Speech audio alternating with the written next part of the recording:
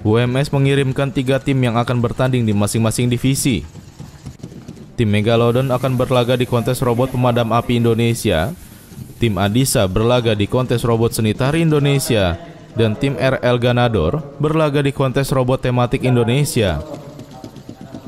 Kontes ini berbeda dengan tahun-tahun sebelumnya. Jika tahun sebelumnya kontes ini dilakukan secara langsung namun pada tahun 2020 ini dilaksanakan secara online melalui Zoom. Kategori KRPAI yang semula hanya berfokus pada pemadam kebakaran, namun pada tahun ini berhubung adanya COVID-19, maka tiga sesi lomba tersebut dua sesi penyemprotan disinfektan dan satu sesi pemadaman kebakaran.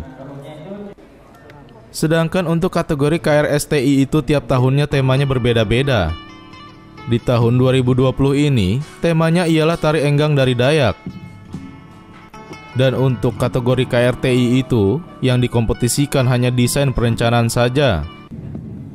Kabak Penalaran Kreativitas dan Soft Skill Ahmad Khalid Al-Ghifari mengatakan, jika UMS telah mengikuti kontes robotik kurang lebih lima kali untuk kategori KRPAI dan KRSTI.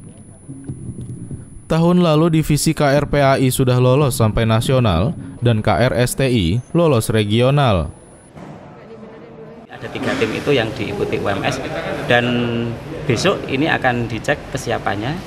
Ini kita sudah dinyatakan lolos tahap satu ini untuk masuk ke lolos tahap dua. Jadi untuk nanti kalau lolos akan masuk lagi ke tahap berikutnya begitu. Ada berapa lo berapa lo e, paling enggak nanti setelah ini kan ke regional terus ke nasional jadi masih ada dua tahap lagi. Tapi kalau tahun kemarin alhamdulillah kita bisa lolos ke tahap nasional. Mohon doa restu.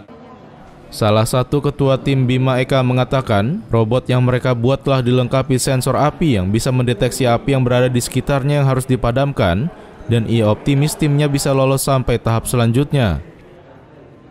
Karena akan pandemi seperti ini ya Pak, jadi dari Kemendikbud dari juri itu bertemakan eh, pemadaman api itu juga menjadi tema penyemprotan disinfektan di mana itu nanti di arena ada ruangan berjumlah empat itu nanti disemprotkan disinfektan. Nah, untuk penyemprotannya kita menggunakan gas CO2 ya. karena kan e, masih menggunakan rute yang sama hanya saja temanya diubah. Di mana itu nanti robot berputar kiri 90 derajat, hmm. lalu berputar ke kanan 180 derajat, lalu kembali ke posisi awal. Larasati memberitakan dari Solo, Jawa Tengah.